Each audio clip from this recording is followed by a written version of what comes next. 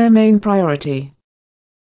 Ben Affleck and Jennifer Garner put on a united front for parent duties amid claims she's furious over his involvement in groping scandal. Ben Affleck and Jennifer Garner put on a united front on Friday amid allegations the actor groped several women. Back on parenting duty, the former couple arrived together to a private event in Los Angeles but left separately. The duo, who are parents to Violet 11, Serafina 8, and Samuel 5, were dressed smartly for the meeting which apparently involved parents from different schools in the area. Garner was all business wearing a black turtleneck and smart trousers while Ben donned a blazer over a button-up shirt and slacks. Ben and Jen's divorce was finalized in April of this year after separating in 2015 and Ben is now dating producer Lindsay Shookus, 37. The outing came after Ben publicly apologized and admitted to acting inappropriately after actress Hilarie Burton accused him of groping her breast on a 2003 episode of TRL. Two other groping-related incidents have since come to light. Garner, 45, is said to be furious that her ex is now embroiled in such a scandal. A source told E! News on Thursday that the 45-year-old actress is very annoyed because it just means more attention on her and the kids as a result of Ben's actions. She tries to shield them from any and all publicity and scrutiny. She's taking her kids to school and to all of their activities. As far as they know nothing has changed and all is well.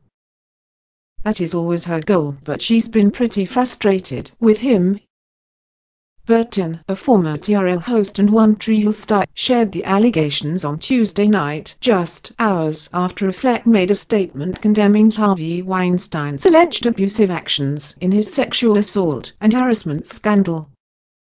In it Affleck said he was saddened and angry over the sickening claims. Affleck's statement was quickly slammed by a number of people, including Weinstein accuser Rose McGowan, who called Affleck a liar. When a fan tweeted that Affleck might as well have kept quiet, another Twitter user wrote. He also grabbed Hilarie Burton's breasts on TRL once. Everyone forgot though. The actress then surprised the Twitter thread by interjecting with, I didn't forget. TV host Anne-Marie Losique, whose 2004 interview with Ben Affleck recently went viral, claimed Wednesday that she was not a victim of harassment. This was for the camera. You have to understand that we have done dozens and dozens of interviews like that.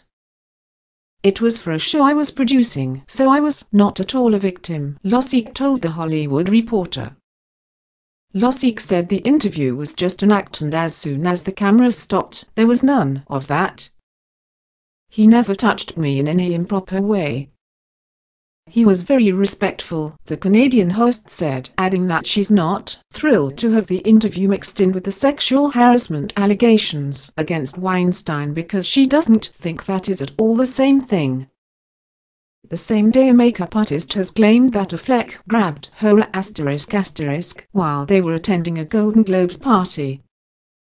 Anna-Marie Tendler, who is the author of The Daily Face and Pin It, tweeted Wednesday afternoon demanding an apology from the actor over the alleged incident. Affleck finally responded to the assault allegations against Weinstein five days after they broke. The producer backed Affleck and Matt Damon's screenplay for Good Will Hunting.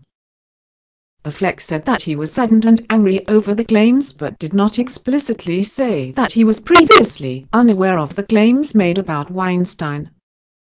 He wrote, I am saddened and angry that a man who I worked with used his position of power to intimidate, sexually harass and manipulate many women over decades. The additional allegations of assault that I read this morning made me sick. This is completely unacceptable and I find myself asking what I can do to make sure this doesn't happen to others. We need to do better at protecting our sisters, friends, co-workers and daughters. We must support those who come forward, condemn this type of behavior when we see it and help ensure there are more women in positions of power. More than a dozen women have now said Weinstein sexually harassed or assaulted them. The incidents described range from propositions, unwanted groping to forced S